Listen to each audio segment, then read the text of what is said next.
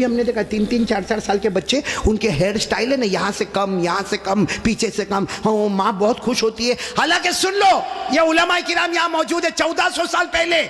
हमारे नबी ने फरमाया था, एक उम्मत आएगी जिसके सर के कुछ हिस्से पर बाल होंगे, कुछ हिस्से पर बाल नहीं होंगे, भले कलमा पढ़ते होंगे, मगर 24 घंटे उनके सर पर अल्लाह की लानत उतरती होगी। इसलिए मेरे प्यारो, ये ऐसे वैसे बाल काय को बनाते हो भाई?